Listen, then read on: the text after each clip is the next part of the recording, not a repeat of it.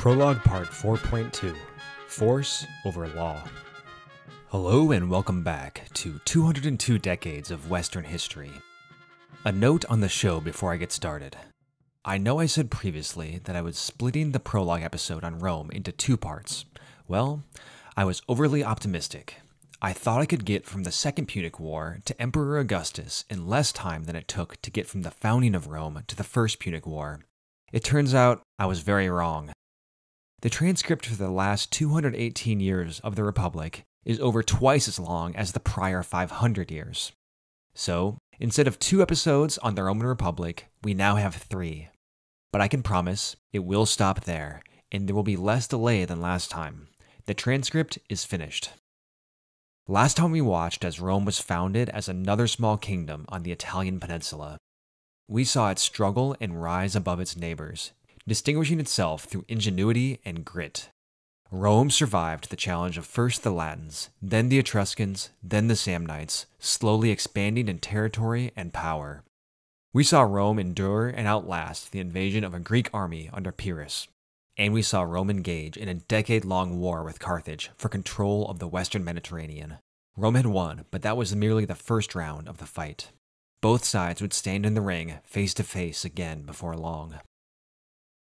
During the brief interlude between the First and Second Punic Wars, Rome was kept busy with outside threats. With increased trade brought about by victory over Carthage in the First Punic War, the situation to the east in the Adriatic became untenable. There, pirates under the employ of Queen Teuta of the Illyrian kingdom of Ardii had become increasingly bold and were disrupting Roman trade. The Illyrians lived in modern Croatia, Bosnia, and northern Albania. A Roman army was sent to Illyria and quickly stamped out the piracy. They also freed several Greek cities which had been under Illyrian rule and placed them under the protection of Rome. While still technically free cities, this was Rome's first toehold into the eastern Mediterranean. The powers of the East watched warily. At the same time, Rome dealt with another invasion of Celts from the north.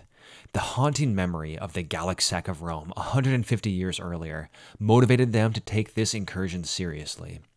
Along with their Italian allies, they gathered a huge army and managed to drive off the invaders. On the heels of this victory, they freed the Po Valley from the Gauls, who had ruled the area for the past several centuries.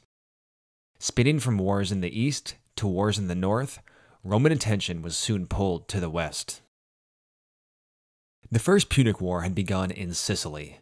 The second began in Iberia. This region, which today is split between Spain and Portugal, was called Hispania by the Romans. After losing their possessions on Sicily, Sardinia, and Corsica, Carthage had expanded up the coast of Iberia. With its focus purely on mercantilism rather than maintaining an army, Carthage had managed to raise enough funds to pay off its massive reparations to Rome early. In Hispania, Hannibal and his brother Hasdrubal, sons of the old general Hamilcar, had led much of the expansion. This was the family that had sworn an oath of eternal hatred for Rome.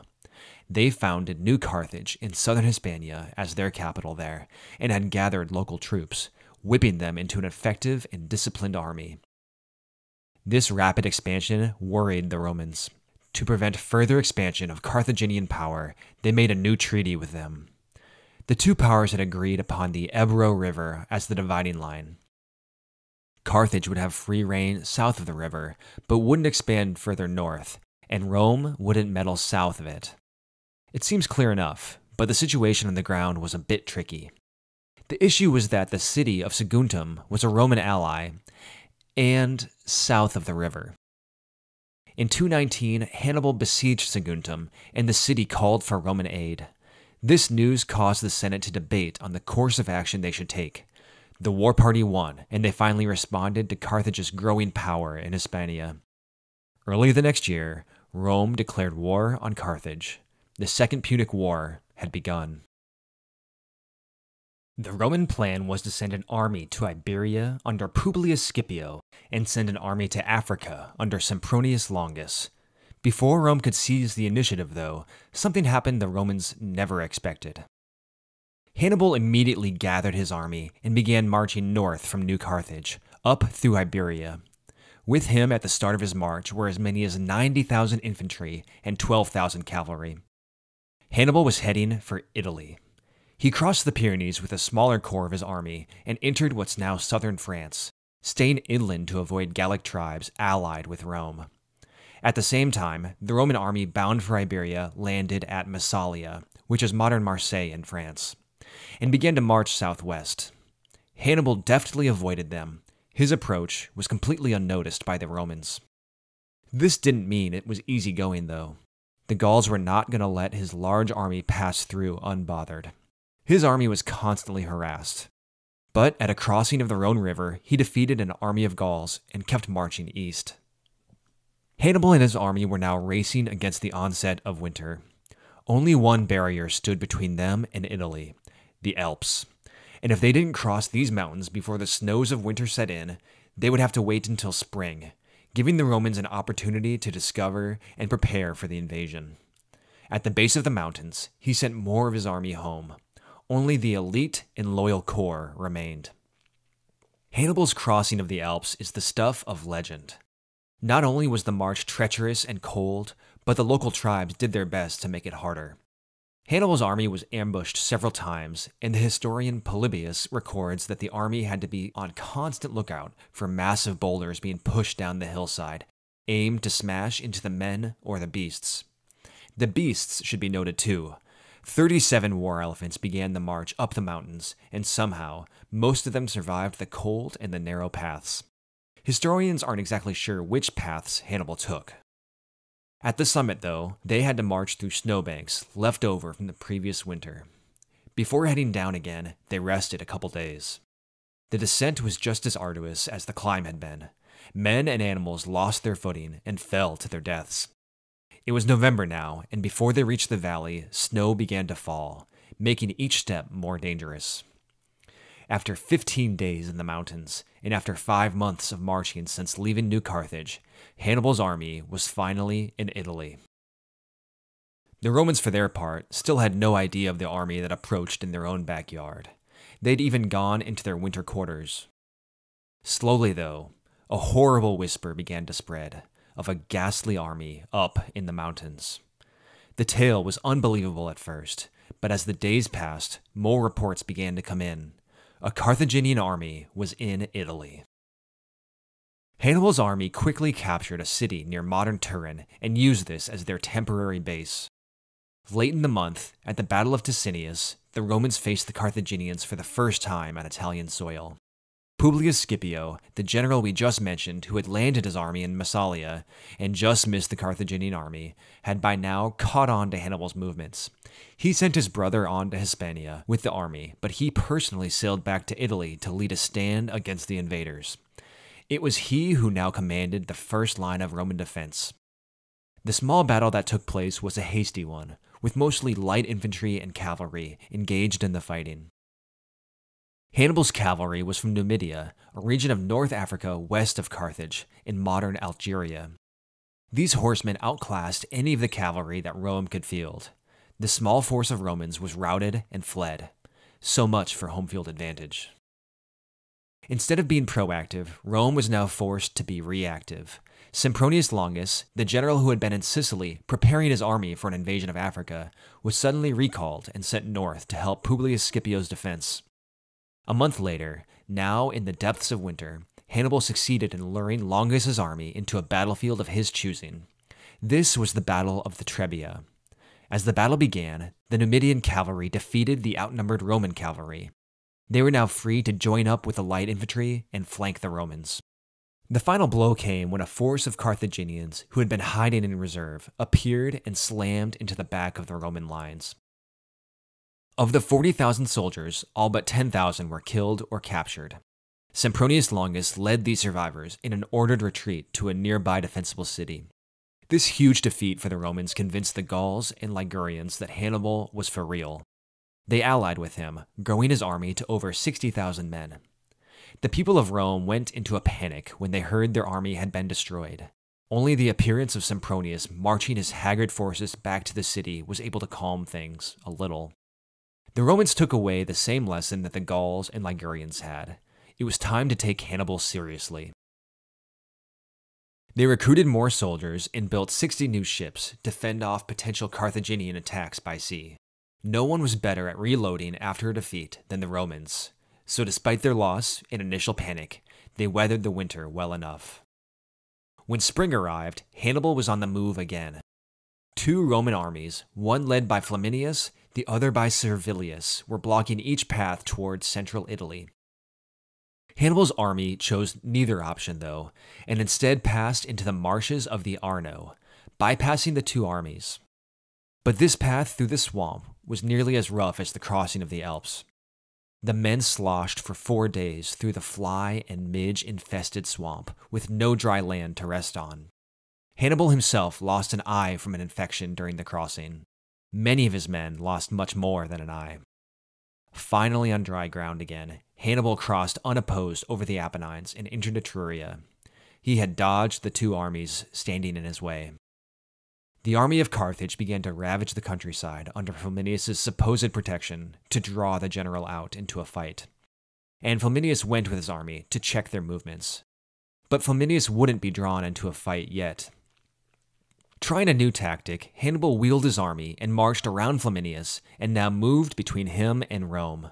Finally, Flaminius was provoked to do something, as he led his army around the edge of Lake Trasimene, on the narrow shore under the hill, the Carthaginians rushed down the slopes, trapping the marching line of Romans against the lake. All 25,000 of the Romans, including Flaminius, were killed. No army stood between Hannibal and Rome, but without siege equipment, he knew he couldn't take the city. He marched south into central and southern Italy. His strategy wasn't merely to defeat the Romans on the battlefield, he would need support. He hoped to peel off the Greek cities and the other Italians to his side, just as he had done with the Gauls and the Ligurians in the north. The plan wasn't far fetched. Each city would have seen that this might be their chance to finally break free from Roman rule. The risk, though, was in facing the wrath of the Romans if Hannibal failed at totally destroying them. In Rome itself, the Senate was desperate enough to appoint a dictator, something not done for many decades. They chose Quintus Fabius Maximus. He gathered an army and marched into the field. But, unlike his predecessors, Fabius didn't engage Hannibal in a battle. Instead of directly fighting Hannibal, Fabius's army shadowed the Carthaginian, picking off scouts and generally harassing them from a distance. Hannibal tried several times to lure Fabius into a trap or even a battle, but each time Fabius was too cautious and he always slipped away. On one hand, Hannibal was now free to ravage Apulia without a Roman army stopping him. On the other hand, the presence of a Roman army in the field for months at a time, without it being annihilated, did a great deal to still the worst fears of the citizens and the Senate. Still, it was against Roman nature not to confront their foes head on, and Fabius quickly became unpopular. With the massive Roman defeats already fading into memory, some began to whisper that Fabius was drawing out the war, and a better general would have crushed Hannibal by now. When new consuls were elected in 216, leaders advocating a more aggressive approach were chosen. First, there was Varro, who was itching for a fight. And then there was Paulus, who was more moderate and looked to employ a few of Fabius's tactics. That spring, Hannibal seized a Roman supply depot at Cannae in Apulia. The consuls together raised an immense army of 86,000, the largest army yet fielded by the Romans, and went out to meet him. When both consuls were together on a battlefield, command of the army could either be split in half, or total command could be alternated day after day. Paulus was hesitant to directly engage, but it was Varro's day of command, and he lined up his huge forces and met the Carthaginians in battle. Hannibal's army was arrayed in a funny manner. Instead of a straight line, the center of his line was forward of the wings. In this center weren't his best troops, but lighter infantry. The Romans noticed this and expected to break Hannibal's army apart. As the two sides met, the Roman center quickly began to push back the weaker enemy center. What they didn't notice, though, was that as they pushed the center farther and farther back, the Carthaginian wings were standing their ground. Soon, the legions at the center of the army were far forward of the wings. Though the center fell back, the line did not break. The Carthaginian army was now bent into a semicircle around the Roman army. The mass of Roman infantry was stuck in the middle without being able to contribute to the fight. This is when Hannibal sprung his trap. His Numidian cavalry on the wings defeated or drove off the Roman cavalry and then swung around behind the Romans and completed the encirclement. The Romans were now totally surrounded, being pressed in from all sides. Many of the soldiers were packed so tightly they couldn't even lift their arms to defend themselves. In a brutal slaughter, they were cut down, almost to a man. The consul Paulus died there with his men. While around 15,000 managed to escape, the defeat is one of the most total and devastating defeats in military history. Military strategists today still study Hannibal's tactics. The historian Livy writes Never when the city was in safety was there so great a panic and confusion within the walls of Rome. The consul and his army, having been lost at the Trasimenus the year before, it was not one wound upon another which was announced, but a multiplied disaster, the loss of two consular armies, together with two consuls, and that now there was neither any Roman camp, nor general, nor soldiery. That Apulia and Samnium, and now almost the whole of Italy, were in the possession of Hannibal. No other nation, surely, would not have been overwhelmed by such an accumulation of misfortune. With Rome's armies destroyed, now was Hannibal's chance. He advanced on Rome unopposed, captured the city, and completely destroyed it, executing the Senate and selling the surviving citizens into. What's that? He didn't what? He didn't go straight for Rome. Huh. That must have been a different timeline. In reality, Hannibal hesitated. No army stood between him and Rome, but still, he wasn't sure he had the numbers to besiege the city.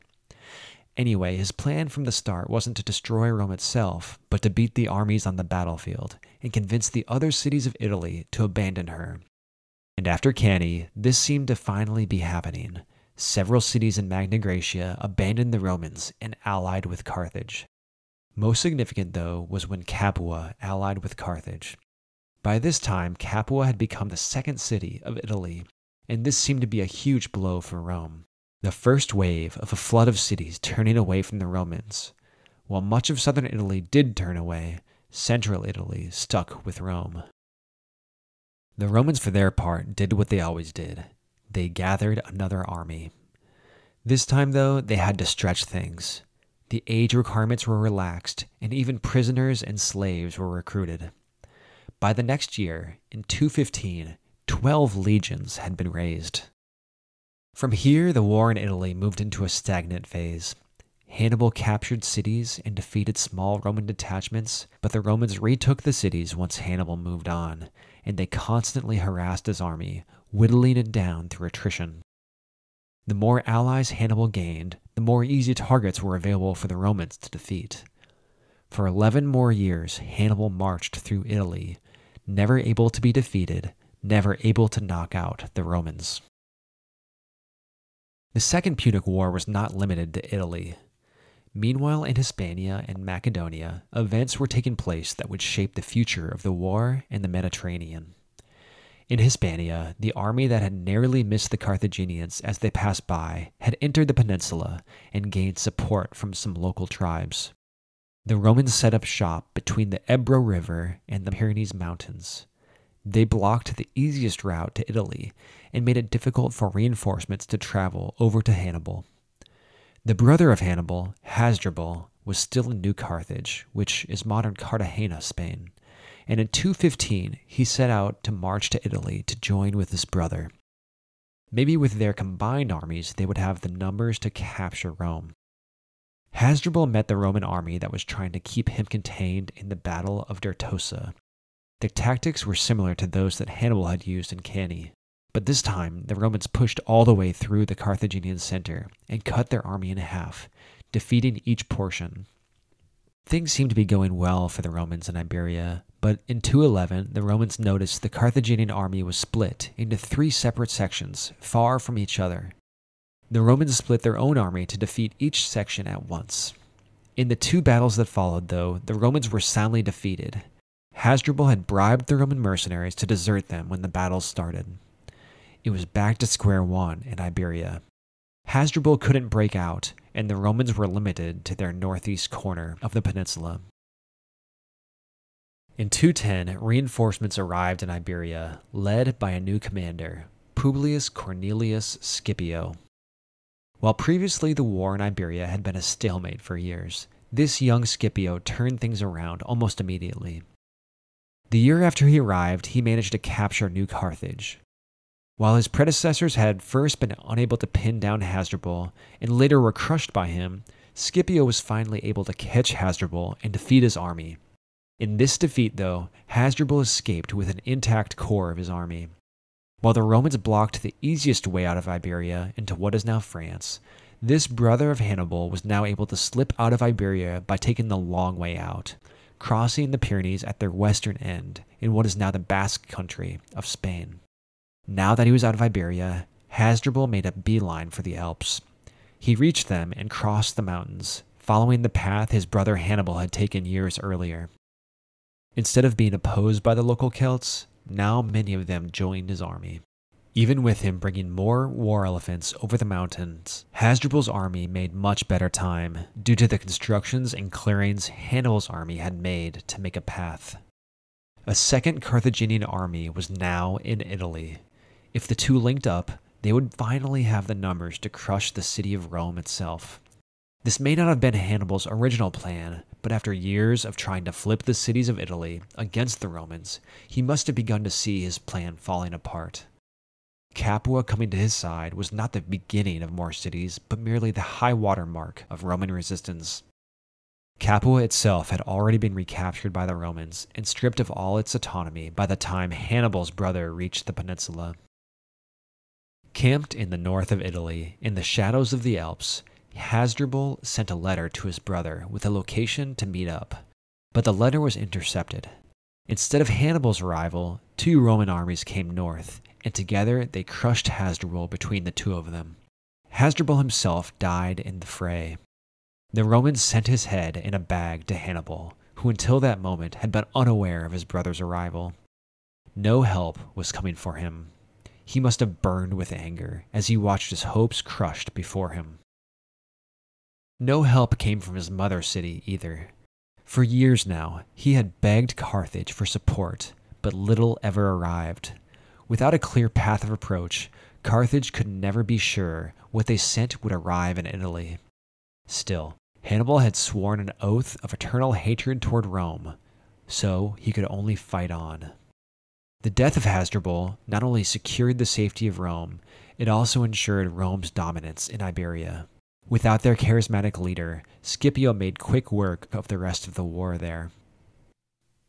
While the war in Spain wrapped up, another theater of the war on the opposite side of the Mediterranean was also coming to a close. In 215, not long after Cannae, when Hannibal's stock was at its highest, Philip V, the Antigonid king of Macedonia and most of Greece, agreed upon an alliance with Hannibal against Rome. Philip feared the new Roman foothold on the Greek side of the Adriatic, that it wouldn't stay only a foothold for long. The Romans were wary too, because this alliance now posed a threat of a Macedonian army entering Italy and joining Hannibal. The Romans sent a legion to guard the crossing and strengthen the ships guarding the straits. They were allied with the Aetolian League, a group of cities just across the Gulf of Corinth from the Peloponnesian Peninsula in Greece. The Aetolian League appreciated the mollifying effect that the Roman foothold had on Philip V of Macedon, and they agreed to help the Romans. Anytime Philip began to head with his army toward Roman holdings, the Aetolian League would attack and make enough trouble for Philip that he would have to turn around to face them. The Macedonian king never was able to help Hannibal. In 205, Rome and Macedon agreed to a peace. The year prior, in 206 BC, Scipio had sealed the Roman victory over Carthage in Iberia. His army of 48,000 had defeated a Carthaginian army of over 54,000. Following the battle, the last Carthaginian city in Iberia defected to the Romans. With the Iberian front concluded, the time was ripe to wrap up the war. Still too scarred from their defeats by Hannibal a decade ago to directly attempt to destroy him, the Romans chose a new strategy to rid him from Italy. While Hannibal was bottled up in the south, Scipio was given command of the armies in Sicily and began to prepare for an invasion of Africa. The Romans hadn't been alone in fighting on several fronts. Obviously, Hannibal fought in Italy, and we talked about the war in Iberia, but the Carthaginians also had to fight against their neighbors in North Africa. In 213, a Numidian king had declared for Rome to free his people from Carthage's rule. Soldiers had to be brought to North Africa from Spain. The various Numidian polities divided amongst themselves who they would support. An important name for later in this episode is Massinissa, who led a Numidian coalition allied with Rome.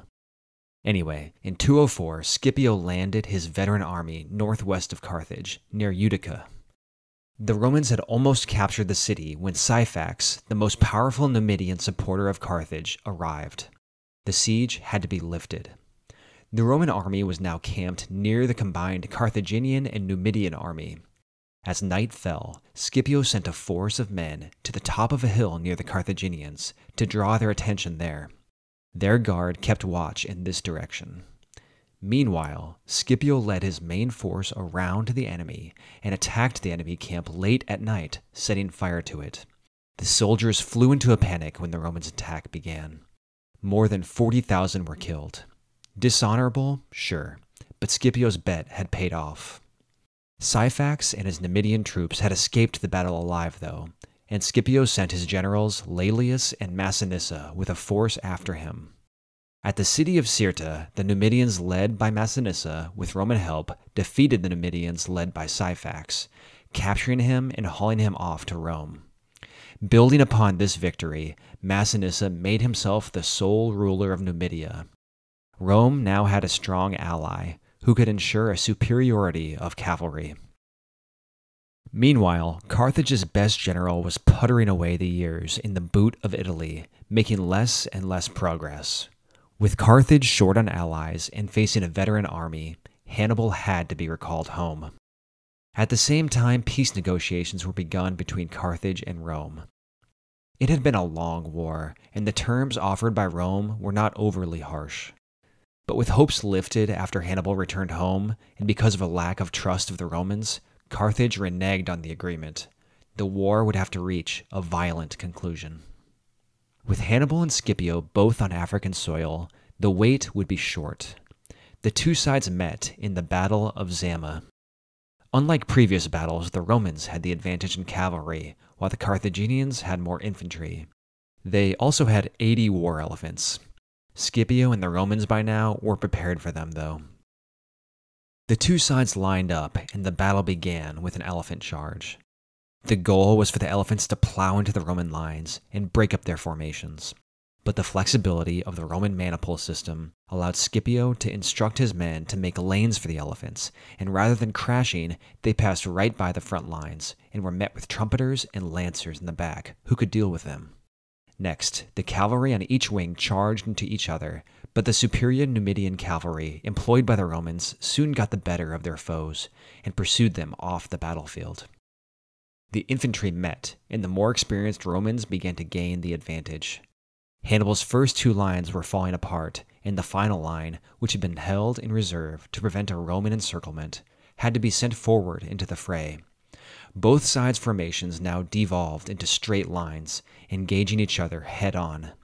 The fighting dragged on in this manner until the Roman cavalry was able to return to the battlefield and charge into the rear of the Carthaginians, destroying them. After more than 16 years of fighting, Hannibal, who had been invincible in Italy, had now been defeated by the Romans, no, by Scipio in Africa.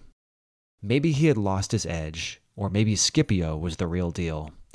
Either way, Carthage could not fight on. The city sued for peace, under any conditions, and they would be harsh. The treaty ensured the loss of Carthage's empire and placed such a huge indemnity on her that she would surely never rise again. Carthage was forbidden from having war elephants or fielding more than 10 warships. She could only fight wars in Africa and then only with Roman permission. Rome gained permanent control of Sicily and Spain, never again to fall into Carthaginian hands. Scipio was an instant hero. Not only was he given a lavish triumph on his return to Rome, but a triumphal arch was built to commemorate his victory, and he was given the moniker Africanus in recognition of his accomplishments. Scipio Africanus goes down on the short list of greatest Romans ever. Hannibal's story isn't our focus, but I have to share a little of his later life. Hannibal led the city of Carthage for several years after the war. He was successful too. He limited the power of the aristocracy and performed an audit that allowed the city to pay for the massive reparations without increasing taxes. Under his rule, the defeated city quickly became prosperous again. Rome wasn't pleased with that, though, and they were upset by communications they had intercepted between Hannibal and Antiochus, the Seleucid king, who loomed as the greatest threat to Roman power in the east. The party in Carthage opposed to him had also begun to plot to remove him. Seeing the rope tighten around his neck, Hannibal voluntarily went into exile. First, he fled to Tyre, the ancient mother city of Carthage, and then to Ephesus in Anatolia, to the court of Antiochus. Hannibal no longer led Carthage, but his oath of hatred toward Rome was undying. The Battle of Zama would not be the last time Rome faced a force led by Hannibal. No other power remained to face the Romans in the western Mediterranean Sea. Now, the hungry gaze of Rome looked to the east. The Senate had not forgotten that in Rome's darkest hour, Philip V of Macedonia had allied with Hannibal against Rome. We'll cover this war more quickly than the Second Punic War. This was a war of expanding influence for Rome, rather than an existential threat as Hannibal had been. After the death of the Ptolemaic king of Egypt, Philip V and the Seleucid king made an agreement to peel off some of the Ptolemies' territories for themselves. In these actions, they engaged the independent city states of Rhodes, an island in the Aegean Sea, and Pergamum, a rich kingdom in the northwest corner of Anatolia along the sea. These two city states called on the Romans for help. Remembering Philip's alliance against them, Rome sent advisors to survey things, and then finally sent an army. They demanded Philip not make any moves against the other cities of Greece. Philip wouldn't agree to this, instead, attacking Athens, leading Rome to declare war. Rome was supported by their allies, the Aetolian League, and Rhodes and Pergamum, of course. After much maneuvering, Philip met the Romans in Thessaly in the Battle of Cynoscephalae in 197 BC. Heavy rains the evening before brought a heavy fog onto the battlefield. A battle began when Roman scouts bumped into some of Philip's army up on a hillside. Skirmishing took place, and the consul Flaminius sent more soldiers in to help. Philip now sent in his phalanx to end the skirmish, which was quickly turning into a full battle. The phalanx formation was nearly unstoppable when on the flat, even ground and running directly into an opposing line. But on hillsides and uneven ground, the phalanx had difficulty staying in formation, and when a formation fell apart, the soldiers with their unwieldy six meter long spears were no good in a man to man fight. Although the Macedonians controlled the higher ground, the greater flexibility and adaptability of the Roman legions allowed them to overcome the phalanx and attack them from the rear. Philip was decisively defeated. The war was over, and Philip was forced to sign a treaty of alliance with Rome, agreeing not to attack the other cities of Greece. These other cities were essentially placed under Roman protection. While little territory had changed for Rome, she now had her hands deep into the politics of the Greek world. Each city was to be free from outside rule, from Macedon, from the leagues, and even from Roman tribute a pretty sweet deal for the cities of Greece, but too sweet for the Aetolian League. They had seen the small cities under their power stripped from them by their ostensible ally. The sulking Aetolian League reached out to Antiochus of the Seleucids, the successor state to Alexander's empire that controlled the east, Babylon, Syria, and much of Anatolia. Antiochus was riding high after victories in the east and decided the requests from the Aetolian League would be the perfect casus belli to expand his kingdom into Greece. Rome's ally in Anatolia, Pergamum, caught wind of this and called for help. Scipio Africanus and his brother Lucius led the first Roman army onto the Asian continent. At the Battle of Magnesia, the Romans were outnumbered two to one, but were able to crush the Seleucid horde. The treaty afterward kicked the Seleucids out of any territory west of the Taurus Mountains, essentially kicking them out of modern Turkey. the Roman allies Pergamum and Rhodes were given much of the territory. Among the agreements in the treaty was that Antiochus was to hand over Hannibal to Rome. Hannibal had actually been engaged in anti Roman naval skirmishes over the past decade in support of Antiochus. Now, though, the noose grew tighter once again for the old general, and he decided to slip away before he could be handed over to his sworn nemesis. He ran again and made it to Bithynia, a remote Greek kingdom on the north coast of Anatolia, along the Black Sea. Here he lived for several years. The Bithynians were enemies of Pergamum. Finally, though, Hannibal's luck ran out, and he couldn't slip away again. The Romans had tracked him down and surrounded his home. He took poison rather than being captured and taken back as a show thing to Rome. He said, Let us relieve the Romans from the anxiety they have so long experienced, since they think it tries their patience too much to wait for an old man's death. Thirty five years after leading his army across the Alps into Italy, at the age of 67, Far from the Mediterranean sun of his homeland, along the dreary coast of the Black Sea, Hannibal passed away. Back in Africa, the old ally of Rome, Massinissa, was still kicking. The old king would live to be 90 years old and long kept his health and vigor. Since Rome had demanded Carthage to only engage in warfare approved by Rome, the Numidians were free to raid and nibble away the territory of Carthage without consequences. Nearly all of the old Carthaginian coast of Africa had been seized by the Numidians. Whenever Carthage appealed to Rome for justice, their requests were dismissed. Fifty years had now passed since the Battle of Zama, and when they paid the final installment of her huge reparation payments to Rome, Carthage considered herself finally free from the shackles placed by the treaty. Carthage declared war on Numidia. For the past few decades, the statesman Cato the Elder had concluded all his speeches with Ceterum censeo delendum esse Carthaginem, meaning, besides, I think that Carthage must be destroyed. The Senate surely didn't see what had been reduced to the city state of Carthage as a real threat, but many must have seen the rich agricultural lands of North Africa and imagined the gold coins in their hands. So, when Carthage declared war on Numidia, Rome declared war on Carthage. At the same time the Carthaginians learned that Rome had declared war on them, they learned an invasion force had already set sail. They had a tiny army, a tiny navy, and no allies. Even the nearby city of Utica had declared against them to gain favor with Rome. Carthage immediately sued for peace. Rome's demands were extreme.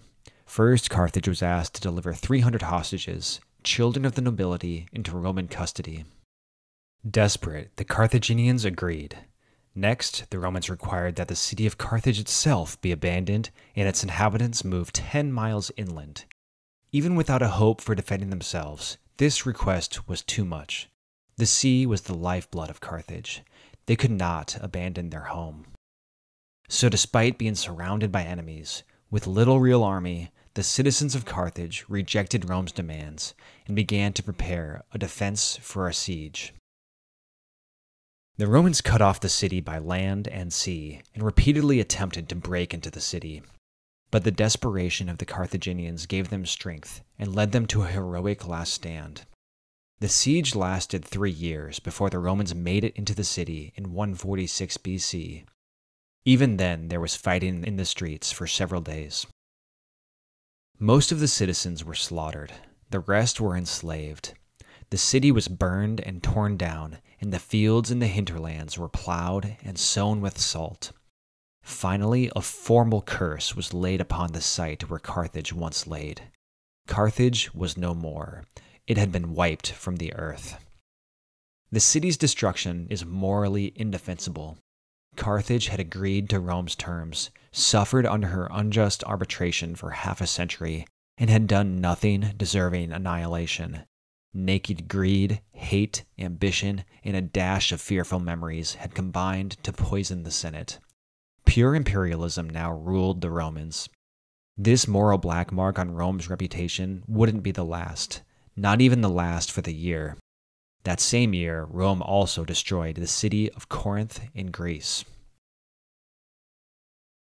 Since the end of the Second Macedonian War and the defeat of the Seleucids in the Battle of Magnesia, the Romans had increasingly expanded their power over mainland Greece. In the Third Macedonian War, the Romans overcame Perseus, the ambitious son of Philip V, who had tried to rid Greece from the influence of Rome. The Romans had defeated him and split Macedonia into several smaller client kingdoms. Perseus was captured and brought before the crowds in Rome. He spent the rest of his life a prisoner. Rather than simply serving as protector of Greece, Rome now had indirect rule there. About two decades later, in 150 BC, a man named Andriscus appeared, claiming to be a lost son of Perseus. There had been peace for almost 20 years under Roman oversight in Greece. The arrival of Andriscus, though, threw Greece into rebellion. The man is widely viewed to be a pretender, but he was a unifying force for divided Macedonia, eager to renew its power. Andriscus was initially successful in uniting Macedonia under his rule and throwing out Roman garrisons. When a Roman army was sent to deal with this pretender, Andriscus's growing support gave him an army larger than the Roman army sent against him had expected. The legion was destroyed, and the commander was killed. This victory against the Romans gave Andriscus legitimacy and admiration. Much of Greece declared for him. He had done what no Greek army had managed to do before defeat a Roman army in Greece. For Rome, it was a wake up call. Despite the contemporary hostilities against Carthage, a full consular army was sent. In the next battle, Andriscus was defeated. Like the man he claimed was his father, he was captured and hauled back to Rome. However, after being paraded through the streets, he wasn't jailed, but executed. After this Fourth Macedonian War, the Senate saw that their hands off approach to ruling Greece wasn't sustainable. Macedonia, along with Epirus and much of Illyria, were annexed as a new province, and a legion was permanently stationed there. In what everyone at the time knew was a suicidal war, the Achaean League in the Peloponnese declared war on Rome. Up to this point in Greece, the Romans had only been at war with Macedonia, and with their smaller numbers and the legion's consistent superiority over the Greek phalanx, the Achaean cause, inspired by demagoguery, was hopeless from the start. Rome made quick work of them. As an example to prevent future rebellions, the Romans sacked Corinth, the head city of the Achaean League. Much of the population had fled, but of those who remained, every man was killed, and every woman and child was sold into slavery. The city was stripped of its wealth, and its art was taken back to Rome. Finally, the city itself was destroyed. Corinth and Carthage smoldered together as twin pillars of smoke rising from opposite sides of the Mediterranean. The small republic founded in Latium now covered South and East Iberia, all of Italy, North Africa and modern Tunisia and Algeria, all of Greece, and some of Albania and European Turkey. The republic stretched nearly all the way around the Mediterranean, civil unrest. Decade after decade of war and conquest had reshaped the Roman Republic. The system built around the city state of Rome and then expanded to include the other Latins began to strain as it governed nearly the whole of the Mediterranean. In times past, the Romans had prided themselves on their hardiness, frugality, and austerity. The expansion, though, had lined the pockets of the rich. They now lived lives of cultured luxury. Greek philosophy, art, and dress were imported. Many a conservative would have balked at the loss of Rome's old virtues, giving way to Eastern softness. Life for the independent landowning farmers, who had formed the backbone of the Roman state since its foundation, had not improved with the growth in size of the republic or the growth in wealth of the rich. As the rich grew richer, the small farmers could no longer compete with what could almost be called factory farms, run from Sicily or Campania or Iberia, and increasingly North Africa. Much of the labor of these farms would have been done by slaves. When it came time for these farmers to serve in the army, they were no longer gone for a few weeks on a campaign 50 miles away in Samnium. Now they may spend several months or years away in Spain or Greece or wherever while their fields sat fallow. How is a small farmer to compete with the efficiency or scale of the rich? Increasingly, the people in the middle were being squeezed into destitution. There had always been a land requirement to serve in the legions, but fewer and fewer Roman citizens were able to meet the standard. As the independent farmers were undercut by the slave run plantations called latifundias, many had to sell their small plots. And who would they sell to but to an already rich neighbor, who likely was buying up nearby farms left and right? The problem was severe enough that the amount of property required to serve in the legions was lessened, but the drafts were still coming up short. In these conditions, people were driven into poverty. Many did what people have always done fled to the city in hopes of a better life. Rome itself swelled in size. Its streets became filled with cramped tenement houses reaching up to five stories tall. Some found jobs as salesmen or craftsmen, sure. Many others fell into a client system wherein they received charity from a rich benefactor with the expectation of support. This client system would see powerful people develop what were essentially gangs or mafias of supporters who could be used to carry out the leader's will. Conditions were ripe for unrest and civil conflict. This is usually the part of any Roman history where we begin to talk in depth about a series of, quote, great men who led the Republic down the path of empire. Names like the Gracchi brothers, Marius, Sulla, Pompey, and Caesar. There would be a biography, a physical description, and a discussion of the political intrigue each of them engaged in. A whole cast of supporting characters like Crassus, Cato the Younger, or the Scipioni clan would be introduced and their story given. Here, though, my discussion of these people will be limited. The goal of these episodes, however poorly I've kept to it, is to get us to our starting point of 1 AD. And so when we get there, we don't look around and ask, where are we? As the Romans destroyed enemy after enemy around the Mediterranean, conflicts became increasingly internal rather than external. The desperation of the common people led some of the elite to take up their cause, whether out of genuine concern or political expediency. One of these politicians was Tiberius Gracchus. He came from a wealthy and well connected plebeian family. His father, of the same name, had served as praetor, tribune, and consul, and had married Cornelia, the daughter of Scipio Africanus, making the younger Tiberius Gracchus a grandson of the legendary Scipio. Tiberius himself had served as an officer in the Third Punic War. His upbringing and experience all pointed to a young man clearly on a trajectory for greatness. In 133, Tiberius was elected tribune of the plebs. This is when the trouble began. There was a growing demand among the poor for land redistribution, anything to fix the growing social crisis facing Rome. Land reform had been proposed in 140 BC by one of the consuls, but the Senate had stubbornly opposed it, and the issue was dropped. Seven years later, Tiberius made himself the people's champion when he reintroduced the reforms.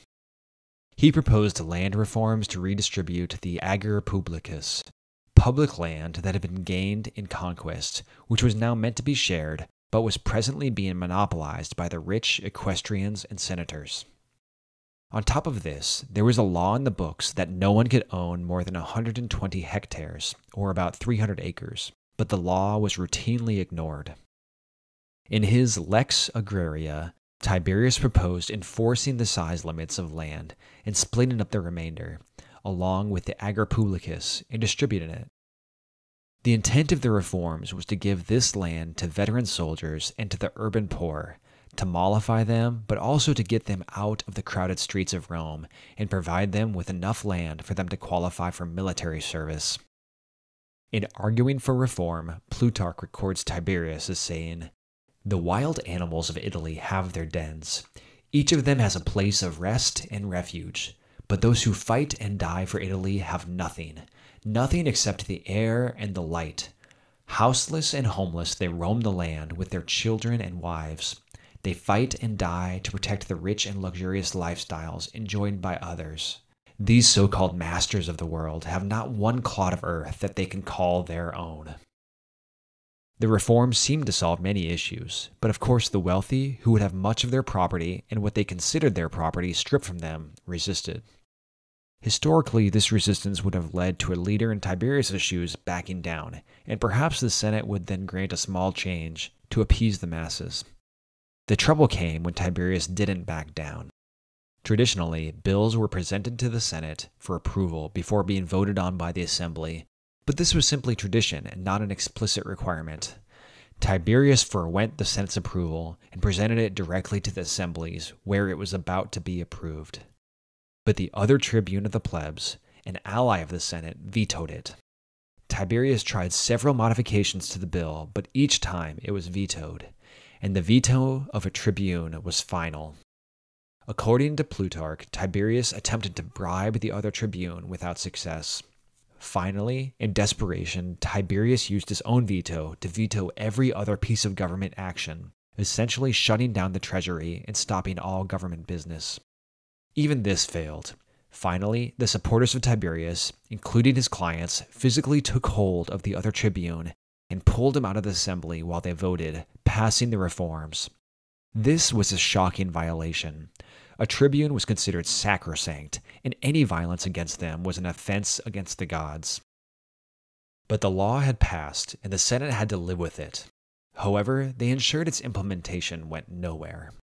The Senate assigned a Peaslee amount of money to the project, and too few surveyors and supplies were able to be hired to redistribute any significant amounts of land. That same year, in Pergamum, the Greek kingdom in the northwest corner of Anatolia, who had long been an ally of Rome, the king died. Instead of leaving the kingdom to an heir, he granted the entirety to Rome.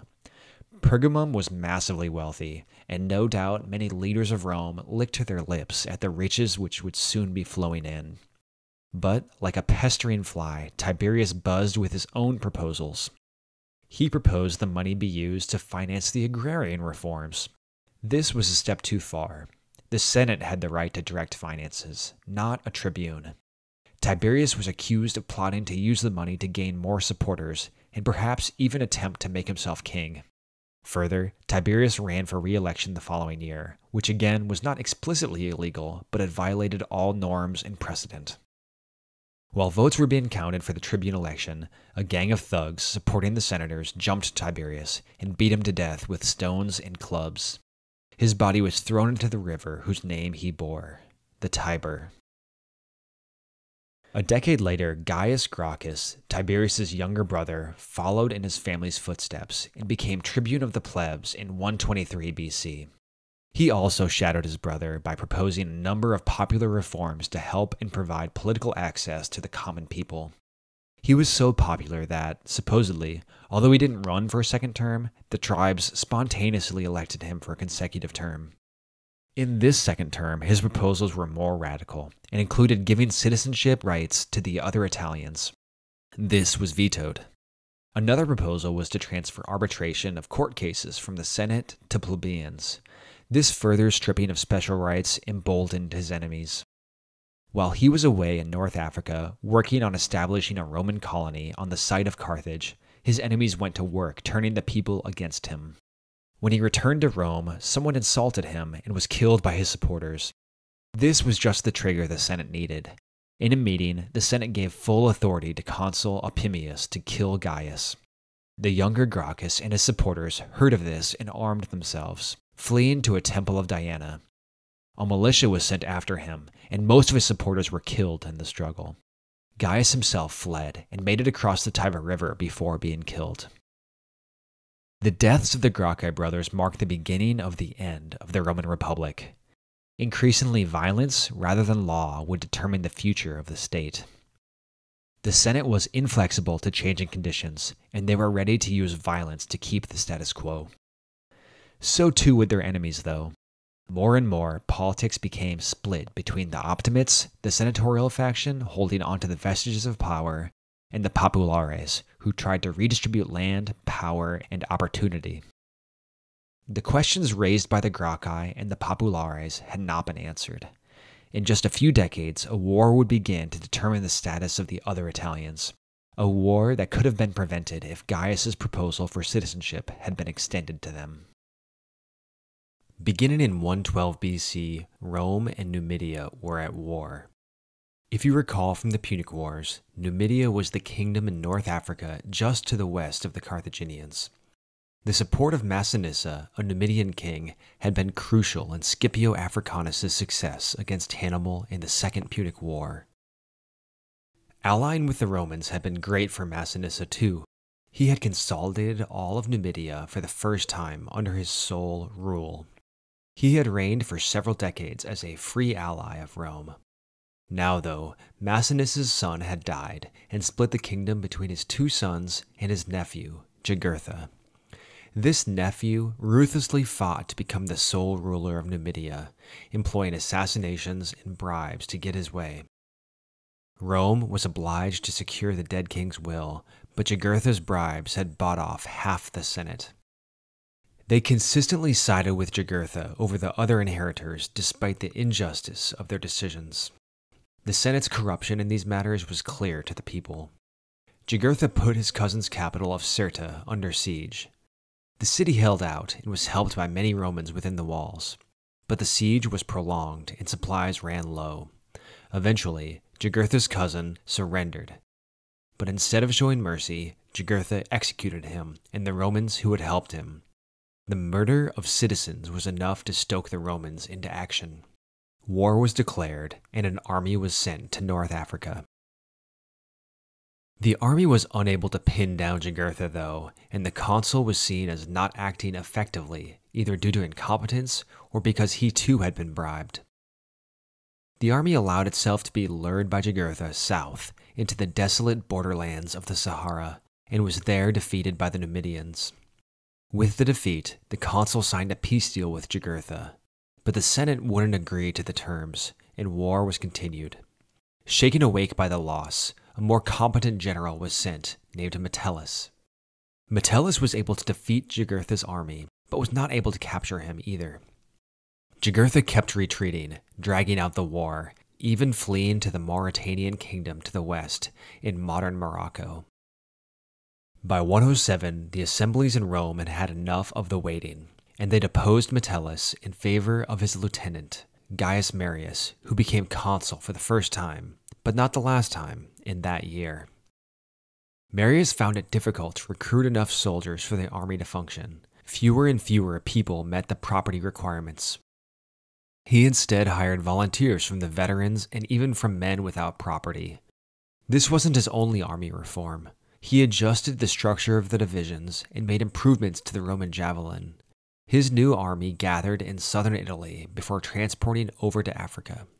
A man named Lucius Cornelius Sulla was made cavalry commander, although this was against Marius's wishes, as Sulla had a reputation for lax morals. Sulla, though, would prove to be an able commander. As the war continued, it would be Sulla's connections at the court of Mauritania that led to an end to the conflict. The Mauritanian king agreed to hand over Jugurtha, and it would be Sulla who hauled the Numidian back to the Roman camp in chains. Under Roman tradition, since Marius was in command, it was in his honor the triumph would be held. But Sulla and his allies made sure to spread the word on who had really finished off Jugurtha. This stole some of Marius's thunder and cemented a hatred between the two. At the same time as Jugurtha caused trouble in Africa, Rome itself seemed to be under threat from a barbarian horde. Two massive tribes approached from what is now Germany. They were the Teutons and the Cimbri. They came in their covered wagons and were reported to have 300,000 fighting men among them, though that's surely exaggerated. These barbarians were big, tall, strong, and so blond the Italians said their children had hair colored like old men. Word spread that they intended to cross into Italy, a Roman expedition was sent north to stop them, but was crushed. The Cimbri and Teutons turned west and passed into southern Gaul, where they defeated Roman army after Roman army. Rome was in a panic, haunted by stories of Hannibal and distant remembrances of the Gallic sack of Rome almost 300 years before. But instead of passing into Italy, the Cimbri took a detour, crossed the Pyrenees, and ravaged Hispania. In 102, though, the Cimbri returned to Gaul and made an agreement to enter the fertile land of northern Italy by different routes at the same time. In response to the threat of these barbarians, and with his successes in wrapping up the war in Africa, Marius was given an unprecedented four consecutive consulships from 104 to 100 BC. Marius implemented his new army model and gathered soldiers, offering pay and promise of land and booty with their victories. An unforeseen effect of these reforms was increase in loyalty of soldiers to their general rather than to Rome itself. Their prospects were directly tied to the decisions and successes of their general. This development was another ingredient in the pot of civil war. Marius's army drilled relentlessly to get them into fighting shape. They crossed over the Alps and entered southern Gaul, which is now the south of France. There they encountered the mass of the Teutons. The Romans avoided conflict and set up a defensive camp, they endured the taunting of the Teutons, who passed by in such numbers that it took six days for the last of the tribe to go past. Finally, Marius and his army struck the rear of the migration and slew thousands of them. The Teutons were crushed and no longer a threat. He rested his army and then crossed back over the Alps into Italy and found the Cimbri by the Po River. At the same site as Hannibal's first victory over the Romans in Italy, in a snowy battle, Marius destroyed nearly all of the Cimbri's warriors. Marius was lauded as the new Camillus, a new Romulus, the third founder of Rome. He was elected consul now for the sixth time. This is where the fun ran out for Marius, though. During his sixth consulship, a colleague of his named Saturninus went into an open radical rebellion, taking up arms and trying to violently implement the reforms of the Gracchi. Marius was commanded to put down this rebellion, but it was a tough choice for him. Saturninus had been favorable to Marius's veterans, and he was popular amongst the people. Still, Marius couldn't support open violence against the Senate. Saturninus was hunted down, and he and his followers were killed. Marius now fled to a semi retirement, slipping out of public life. But a seventh consulship awaited him. In the year 91, with all the social issues I've discussed still in place, a member of the aristocracy named Livius Drusus was elected tribune and made three proposals. First, divide more land and give it to the poor. Second, return to the Senate sole rights to act as a jury, but also add 300 members of the equestrian class, the rich businessmen, to the Senate. And third, grant citizenship to all the freemen of Italy. The assembly voted and approved the first two items, but before they could vote on the third, the Senate rejected the first two proposals, and an assassin killed Drusus in his home. Most of the non Roman Italians now went into revolt. They had been allies of Rome for centuries, but were treated as no more than conquered territory. Even the cities that had remained faithful when Hannibal offered them freedom had little to no representation in the Roman government. Now, seeing their hopes of citizenship destroyed with an assassin's knife, they picked up their own weapons and declared independence. This rebellion is called the Social War. A new capital for the rebel Italians was chosen at Corfinium in central eastern Italy. A senate of 500 members from all of Italy was formed. Only the Umbrians and Etruscans refused to rebel. Now sapped of much of their manpower, the Roman army struggled against the Italians. Marius came out of retirement and coordinated with his old subordinate, Sulla, to defeat the cessationists. When Umbria and the Etruscans looked about to switch sides, Rome satisfied them by granting them citizenship. After another year of war, in 89 BC, the Senate finally offered citizenship to any Italians willing to end their rebellion. One by one, city after city abandoned the cessationists, and the war ended. Central Italy was devastated, with thousands dead on all sides, all for a war that could have been prevented by a little flexibility or foresight from the Senate. In the east, a Greek king named Mithridates began stirring up the other Greeks against Rome. He was the ruler of Pontus, a kingdom in the northeast of Anatolia along the Black Sea coast. Roman holdings in Anatolia and Macedonia were suddenly in trouble, as consul, Sulla took command of an army and began marching out to make war against Mithridates. However, the populares in the assembly didn't approve of the idea of a conservative optimate like Sulla having the command of the army and inevitably gaining control of the rich plunder from Pontus, and gaining the loyalty of the army. So, at the last minute, they stripped him of command and gave it to the now old and fat Marius, who at the time was technically a private citizen with no office to lead an army. Sulla refused to give up control. He could smell the corruption and demagoguery of the decision. His soldiers, too, who were personally loyal to Sulla, were afraid they would now be passed over from looting the riches of the East on campaign. Marius sent tribunes to negotiate, but they were killed by Sulla's men. Instead of leading them east, though, Sulla slowly led his army toward Rome. Approaching Rome with a Roman army was forbidden by law and tradition. It was unprecedented, sacrilege. Marius now took control of the response in the city. Without his army there, he had to hastily gather a militia of gladiators to fight. But when Sulla and his army arrived, they were easily overcome. Marius and his supporters had to flee the city, narrowly escaping capture several times and eventually making it to Africa. Back in Rome, Sulla now called the shots. Although he allowed the apparatus of government to continue, even allowing his opponents to be elected, he began another dangerous precedent. He and his supporters set up proscriptions, orders to kill, for 12 people, including Marius, his family, and his closest supporters. These proscriptions allowed anyone to kill the people named on the list and be rewarded, and it allowed anyone who harbored those named on the list to be killed themselves. This list of 12 would not be the last list, but it would be the shortest. In 87 BC, Sulla had his authority to lead his army against Mithridates confirmed, and he left Rome and headed east.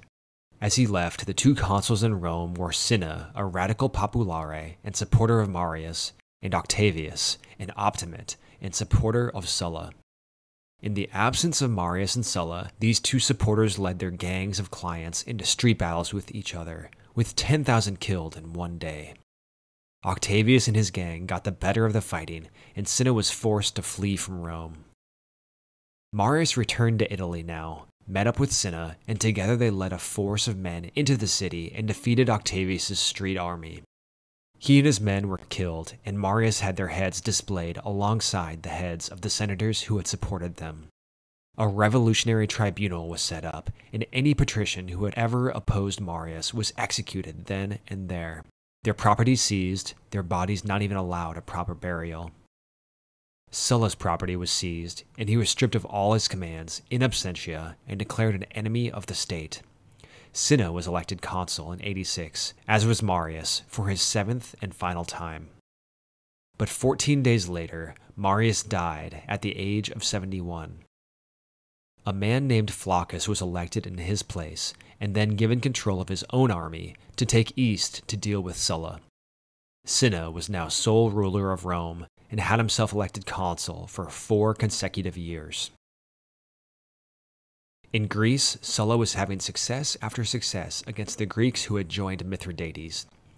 In 86, he crossed over the Hellespont and was about to engage the main Pontic army when Flaccus arrived, and Sulla learned he had been relieved of command. Sulla, though, was able to convince Flaccus to allow him to finish his campaign first. Furious at this, Flaccus's lieutenant, Fimbria, killed Flaccus and declared himself leader of all Roman armies in the east. He then headed north with his army to end Sulla. Sulla quickly made peace with the Pontic king and then headed south to meet Fimbria in the region of Lydia. Before a battle could occur, loyal supporters of Sulla went out and convinced most of Fimbria's army to desert him and join Sulla. Abandoned by his men, Fimbria committed suicide. Sulla extracted tribute from Greece and then headed home to Italy. Cinna marched his army out to sail across the Adriatic to meet Sulla before he could reach Italy. But in a mutiny, Cinna's men rebelled and killed him. His path now open, Sulla sailed to Tarentum.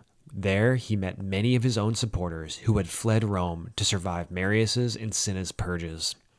Among these supporters was a man named Crassus, who will play a large role in the coming decades. On his march to Rome, Sulla's veteran army easily defeated two armies sent by Carbo, the consul who now headed the Marian faction, along with Marius' son. These two were both elected as consuls in 82 BC, as Sulla and his army, led by Metellus and a bright young man named Pompey, marched towards Rome. Marius the Younger, though, was able to send word to a praetor to quickly kill any surviving supporter of Sulla. A gathering of the Senate was called, and many of the senators, along with the Pontifex Maximus, were slain. Sulla's army surrounded Rome, and without a fight, the gates were opened, and they were welcomed inside by the people who were sick of the purging. After securing the city, Sulla left again and headed north to Etruria. I have so far understated how much these conflicts had become a general civil war in Italy. Many of the Italian allies had thrown in their lot with Marius's faction and were now at war with Sulla. Of the Italians, the Samnites now lifted up their heads after a couple centuries of relative quiet and fielded a large army in support of the Marians. Small battles took place between Sulla's lieutenants and the Marians throughout Italy, resulting in Carbo having to flee to safety in Africa. In November of 82, a decisive battle took place just outside the Colline gates of Rome. Sulla's forces were away from the city when they received word that a huge Samnite army approached Rome itself.